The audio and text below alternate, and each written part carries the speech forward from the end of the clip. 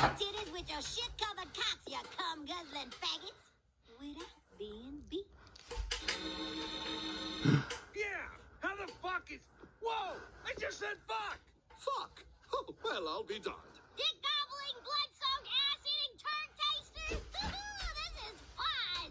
Tandio katario dio sakataba anti tio manana kapatio kaba. Guys, we are not canceled. This is Foxxy we're dealing with, remember? The worst mystery solver of all time. Every time she tries to solve a mystery, someone ends up dead.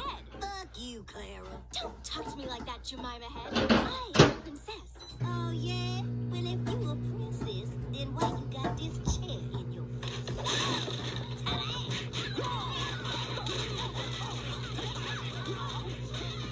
we can't be canceled. We just can't.